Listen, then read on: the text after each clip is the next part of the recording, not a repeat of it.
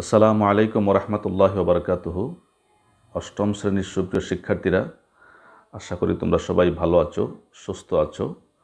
তোমরা জেএসসি পরীক্ষার্থী হিসাবে তোমাদের পড়াশোনা নিয়মিত চালিয়ে যাচ্ছ, এটাই আমরা তোমাদের কাছে প্রত্যাশা করি। প্রিয় শিক্ষার্থীরা, আজকের পাঠে তোমাদের সবাইকে সুস্বাগতম জানাচ্ছি, শুভেচ্ছা জানাচ্ছি। প্রিয় শিক্ষার্থীরা, তো আমরা আজকে যে পাঠ নিয়ে আলোচনা করব, সেই পাঠের পরিচিতি জেনে নেই।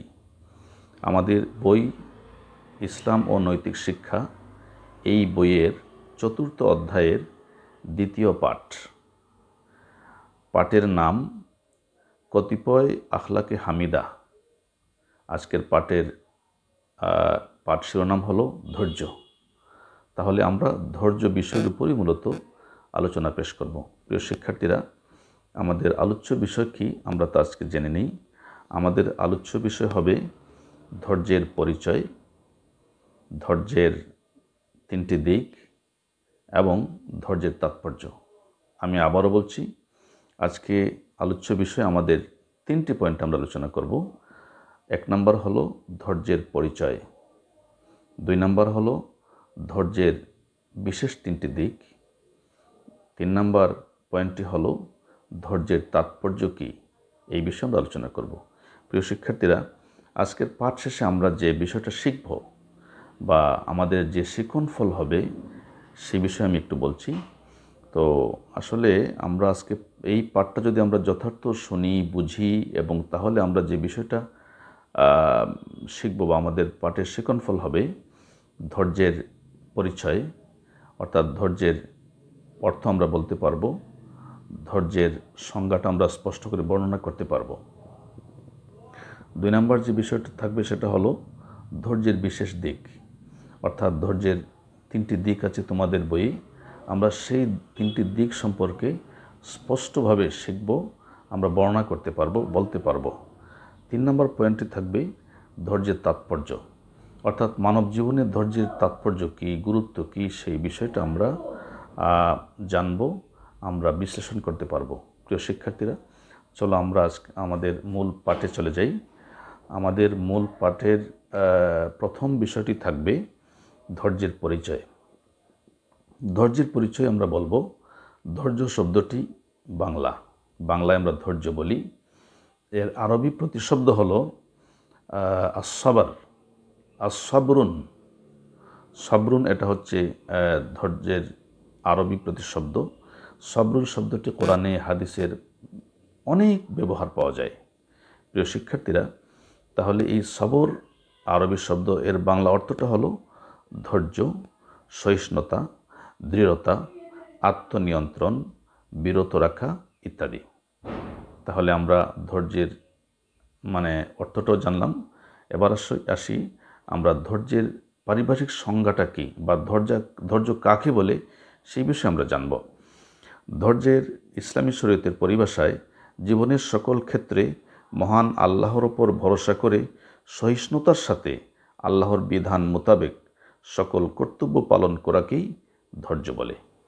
প্রিয় শিক্ষার্থীরা, তার মানে এই সংজ্ঞায় যে বিশেষ দিকটি ফুটে ওঠে, যে বিশেষ কথাটা সেটা হলো যে জীবনের সার্বিক ক্ষেত্রে মানে আল্লাহর উপর ভরসা করে মানে দৃঢ়তার সহিত সকল কাজ, কর্তব্য পালন করার নামই হলো ধৈর্য।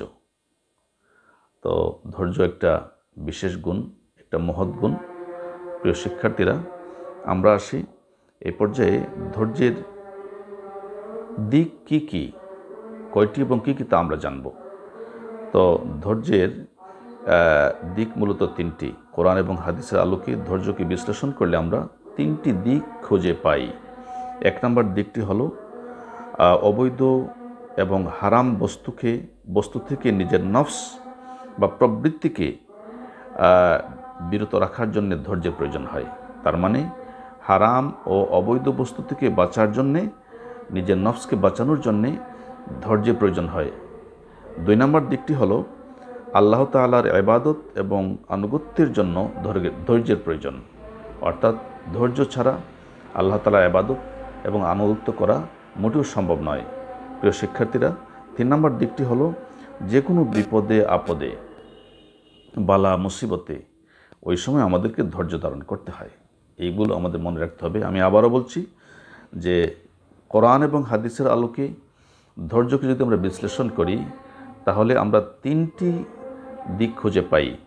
এক নম্বর দিক হলো অবৈধ ও হারাম বস্তু থেকে নিজের নফসকে বিরত রাখার জন্য ধৈর্যের প্রয়োজন হয়। দুই নম্বর দিকটি হলো আল্লাহ তালার আবাদত ও আনুগত্য ধৈর্য সহিত করতে হয়। তিন নম্বর বিষয়টি হলো যে কোনো বিপদ আপদে মুসিবতে বালা মুসিবতে পড়লে ধৈর্য ধারণ করতে হয়। প্রিয় শিক্ষার্থীরা, আমরা এবার চলে আসি ধৈর্যের তাৎপর্য নিয়ে কথা বলছি। ধৈর্যের তাৎপর্য ধৈর্যের তাৎপর্য, মানব জীবনের ধৈর্যের তাৎপর্য কি আমরা সেই বিষয়ে জানব। আসলে ধৈর্য মানব জীবনে একটি মহৎ গুণ, একটা বিশাল গুণ, এটা হচ্ছে সফলতার চাবিকাঠি। ধৈর্য ছাড়া সফল হওয়া যায় না জীবনে। এজন্যই এটাকে বলা হয় ধৈর্য হচ্ছে জীবনের সফলতা লাভের চাবিকাঠি। জীবনে সাফল্য অর্জন করতে হলে অবশ্যই ধৈর্য ধারণ করতে হবে। ধৈর্য ধারণ ছাড়া জীবনে সফলতা অর্জন করা যায় না। ধৈর্য ধারণ করা যদিও একটি কঠিন বিষয়, তারপরও এই বিষয়টাকে আমাকে ধারণ করতে হবে, আমাদের ধারণ করতে হবে আমাদের সফলতার জন্যে, আমাদের টিকে থাকার জন্যে।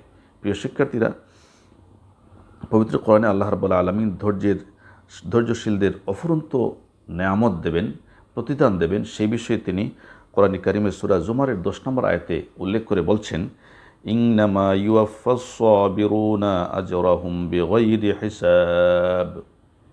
আল্লাহ বলছেন যে, অবশ্যই ধৈর্যশীলকে ধৈর্যশীলগণকে তাদের প্রতিদান অগণিতভাবে দেওয়া হবে। প্রিয় শিক্ষার্থীরা, আমরা আয়াতটা আবার একটু খেয়াল করি। আল্লাহ তালা সুরা জুমারের দশ নম্বর আয়তে বলছেন ইংনামা ইউফাসবিরুনা আজরাহুম বিগৈরি হিসাব।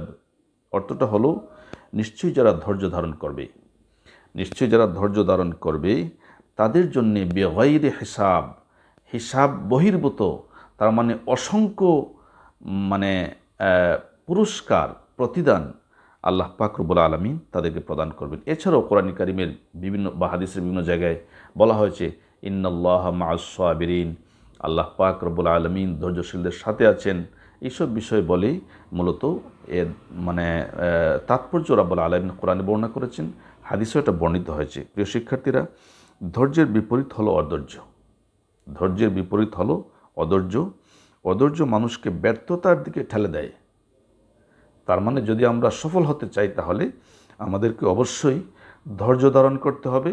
মজবুতভাবে ধৈর্য ধারণ করতে হবে। মানুষের জীবনে বিভিন্ন সময় সুখ দুঃখ আসে বিপদ আপদ আসে, সফলতা, বিফলতা আসে জয় পরাজয় আসে। এই সার্বিক ক্ষেত্রেই আমাদেরকে ধৈর্য ধারণ করতে হবে। বিপদে পড়লে যেমন বা বিপদে যেমন সুদিনের আশায় মানুষ ধৈর্য ধারণ করে, ঠিক তেমনিভাবে সুদিনেও মানে ধৈর্যের সহিত সেই বিষয়টাকে মানে অবলোকন করতে হবে। প্রিয় শিক্ষার্থীরা, আমরা যদি একটু খেয়াল করি, জীবনে যারা বড় হয়েছেন, তারা সবাই ধৈর্যশীল ছিলেন। অর্থাৎ অর্থাৎ ধৈর্য ছাড়া কেউ জীবনে বড় হতে পারে না।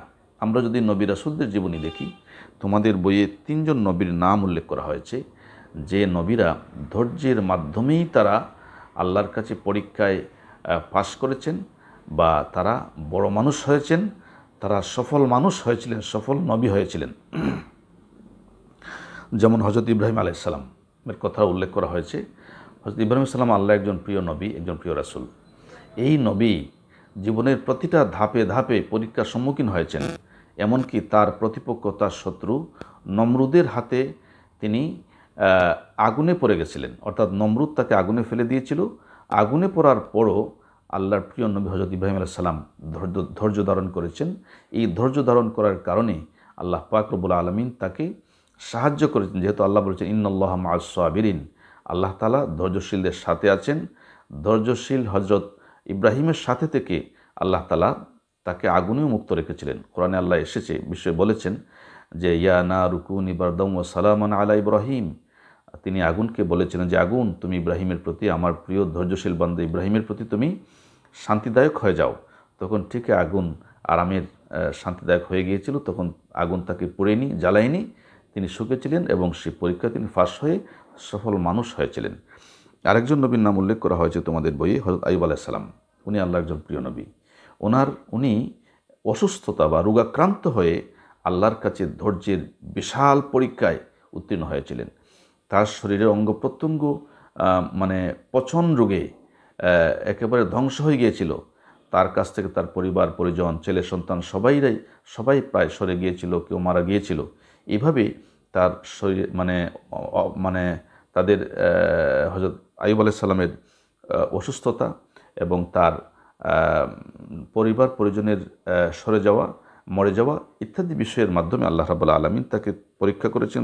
ধৈর্যের মাধ্যমে তিনি সেই পরীক্ষায় উত্তীর্ণ হয়েছেন। প্রিয় শিক্ষার্থীরা, তোমাদের বইয়ে আরও একজন নবীর নাম নিয়ে আসা হয়েছে ধৈর্যের দৃষ্টান্ত দিতে যে হজরত মোহাম্মদ সাল্লাম আখিরে জমানার নবী, অর্থাৎ আমাদের নবী হজরত মোহাম্মদ মোস্তফা সাল্লাহ সাল্লাম উনিও আসলে ধৈর্যের একজন মূর্ত প্রতীক ছিলেন। আমাদের নবী হজরত মোহাম্মদ সাল্লাম জীবনে প্রতিটা পদে প্রতি ধৈর্যের পরীক্ষা দিয়েছেন।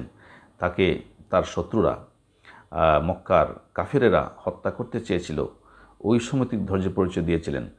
মানে উনি যখন কঠিন বিপদে, তখন আল্লাহর পক্ষ থেকে জিবরিল ফেরেস্তা সে বলেছেন, আল্লাহ রসুল, যদি আপনি চান, যদি বলেন আমি তাদের শাস্তি দিব, পাহাড় দিয়ে তাদের উলপট করে দেবো, আল্লাহ নবী সাল্লাম তখন ধৈর্যদের বলেছিলেন না, এদেরকে তোমরা ধ্বংস করে দাও, তাহলে আমি দাওয়াত দেব কার কাছে? প্রিয় শিক্ষার্থীরা, এভাবেই নবী রাসুলগণ সকলেই তাদের বিপদে, মুসিবতে, বালা মুসিবতে পড়ে ধৈর্যের সহিত তারা ছিলেন অবিচল, ছিলেন অটল। এজন্যে আমরা যদি সফলতা লাভ করতে চাই, সফলতা অর্জন করতে চাই, তাহলে আমাদের কষ্ট করতে হবে, আমাদের ধৈর্য ধারণ করতে হবে। প্রিয় শিক্ষার্থীরা, শরীয়তের বিধান পালন করতে হলেও আমাদের ধৈর্যের প্রয়োজন। ধৈর্য ছাড়া শরীয়তের বিধিবিধানও পালন করা যায় না, আবাদত করা যায় না।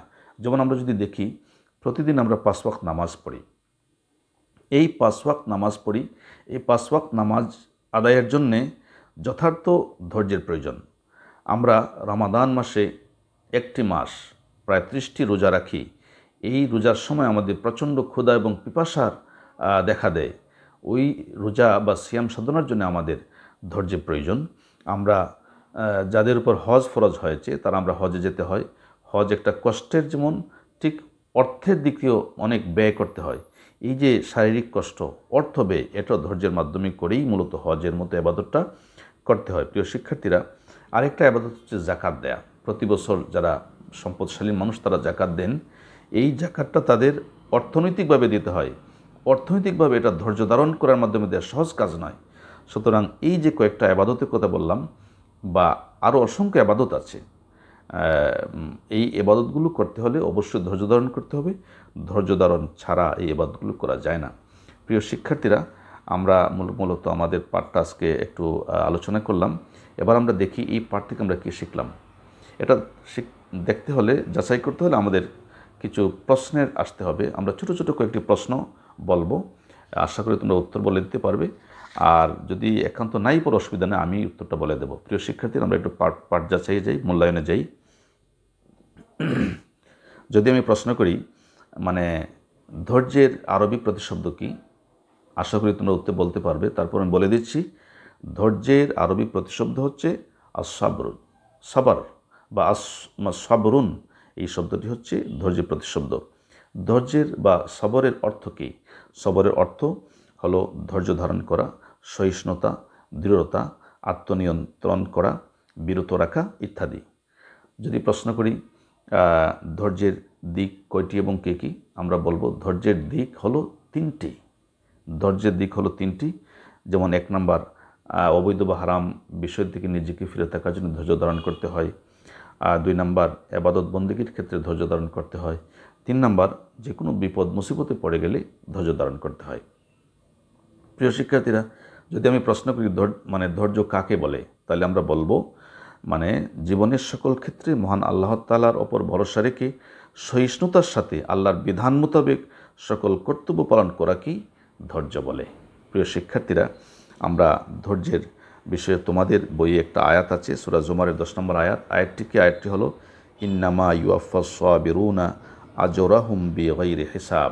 এর অর্থটা হলো, অবশ্যই ধৈর্যশীলগণকে তাদের প্রতিদান অগণিতভাবে দেওয়া হবে এটা আল্লাহ রাবুল্লা আলমিন কোরআনী করিমের সুরা জুমারের দশ নম্বর আয়াত সেটা বলেছেন। ধৈর্য হচ্ছে মানব জীবনের অমূল্য সম্পদ, এটা সফলতার চাবিকাঠি। তোমাদের বইয়ে ধৈর্যের বিষয়ে আলোচনা করতে যে তিনজন নবীর নাম নিয়ে আসা হয়েছে। কি সেই তিনজন নবীর নাম? এই তিনজন নবী হলেন হজরত ইব্রাহিম আলাইসাল্লাম হজরত আয়ুব আলাইসাল্লাম আখরে জমান নবী হজরত মোহাম্মদ রসুল্লাহ সাল্লাহ সাল্লাম প্রিয় শিক্ষার্থীরা, এই ধৈর্য একটা এত গুরুত্বপূর্ণ জিনিস যে আমরা যে বিভিন্ন আবাদত বন্দিগি করি, আল্লাহ তালা আমাদের আবাদত বন্দিগির জন্য সৃষ্টি করেছেন। এই আবাদত বন্দিগির জন্যও ধৈর্যের প্রয়োজন। যেমন আমরা নামাজ পড়ি, ধৈর্য লাগবে। রোজা রাখি, ধৈর্য ছাড়া হবে না। আমরা যখন হজ করি, তখন ধৈর্য প্রয়োজন। আমরা যখন জাকাত দিই, তখন অবশ্যই ধৈর্য ধারণ করেই জাকাতটা দিতে হবে। নতুবা এতটুকু সম্পদ মানুষকে দিয়ে দেওয়া সহজ কাজ নয়। প্রিয় শিক্ষার্থীরা, আশা করি আমরা পাঠটা ভালো করে বুঝতে পেরেছি। এই পর্যায়ে আমরা বাড়ির কাজে আসি। আমাদের কিছু কাজ নিতে হবে, কিছু কাজ করতে হবে। কি কাজ করব আমরা? প্রিয় শিক্ষার্থীরা আমরা একটি বড় প্রশ্ন, প্রথমে একটি বড় প্রশ্নের কথা বলি যে একটা প্রশ্ন হতে পারে এমন যে ধৈর্য কাকে বলে, ধৈর্যের দিক, বিশেষ দিক কয়টি ও কী কী, ধৈর্যের তাৎপর্য বর্ণনা করো। এটা একটা প্রশ্ন। আমি আবারও বলছি যে একটা বড় প্রশ্ন এমন হতে পারে, ধৈর্য কাকে বলে, ধৈর্যের দিক কয়টি ও কী কী, ধৈর্যের তাৎ, মানব জীবনে ধৈর্যের তাৎপর্য আলোচনা করো। এটা একটা প্রশ্ন। এই প্রশ্নের উত্তরটা আমরা শিখে নেব। তো শিখলে দেখবা এই পাঠ সম্পর্কে তোমার ভালো ধারণা আসবে। এছাড়া আমরা আরও কিছু ছোটো ছোটো প্রশ্ন শিখতে পারি, যেমন ধৈর্যের অর্থ কী? ধৈর্যের আরবি প্রতিশব্দ কী? ধৈর্য কাকে বলে? ধৈর্যের দিক কয়টি এবং কী কী? ধৈর্যের ধৈর্যের তাৎপর্য সম্পর্কে পাঁচটি বাক্য লিখো। ধৈর্যের উদাহরণ হিসেবে তিনজন তিনজন নবীন নাম লিখো। কোন কোন বিষয়ে ধৈর্য ধারণ করতে হয়? ইত্যাদি ইত্যাদি আমরা প্রশ্নগুলো ছোট ছোট প্রশ্ন করে উত্তরটা আমরা ওই পাঠ থেকে সংগ্রহ করে নেব। প্রিয় শিক্ষার্থীরা, এছাড়াও আমরা এই পাঠ থেকে কমপক্ষে দশটি এমসিকিউ, বহু নির্বাচনী প্রশ্ন আমরা তৈরি করব চিহ্নিত করব এবং এর মাধ্যমে আমরা এই পাঠটাকে আয়ত্ত করে নেব। প্রিয় শিক্ষার্থীরা, আমরা প্রায় শেষ পর্যায়ে, আমরা শেষ পর্যায়ে উপসংহারে এসে কথা বলছি যে ওভারঅল তোমাদেরকে বইটা ভালো করে পড়তে হবে। আমরা নিশ্চয়ই এই ভিডিওটা মনোযোগ সহকারে শুনব, দেখব অতপর আমাদের মূল বই, ইসলাম শিক্ষা, ইসলাম ও নৈতিক শিক্ষা, বইয়ের চতুর্থ অধ্যায়ের দ্বিতীয় পাঠ, ধৈর্য। এই পাঠটি আমরা মনোযোগ সহকারে পড়ব এবং কলম নিয়ে বিশেষ বিশেষ কথাগুলো, পয়েন্টগুলো চিহ্নিত করব, প্রয়োজনে খাতায় লিখব। এইভাবেই আমরা পাঠটাকে আয়ত্ত করব। যদি আমরা এমন করতে পারি, তাহলে আমরা এই পাঠ সম্পর্কে জানব, ধৈর্য ধারণ করতে পারব নিজের জীবনে আমল করতে পারব তখন আমাদের মানে এই পাঠ সম্পর্কে একটা ভালো আইডিয়া ধারণা চলে আসবে। আর সবচেয়ে বড় কথা, আমরা পরীক্ষার খাতায়ও সুন্দর করে যে কোনো প্রশ্ন উত্তর দিতে পারব। প্রিয় শিক্ষার্থীরা, উত্তরগুলোর জন্য আমাদের মূল হাতের হচ্ছে মূল বই। মূল বই পড়েই আমাদেরকে শিখতে হবে। এছাড়াও আমরা আমাদের যে সাজেকশন বা বিভিন্ন রকমের নোট ইত্যাদি আছে, এগুলো আমরা হেল্প নেব। কিন্তু আমাদের মূল উত্তরের বা মূল শেখার হাতিয়ার হচ্ছে আমাদের মানে আমাদের পাঠ্য বই।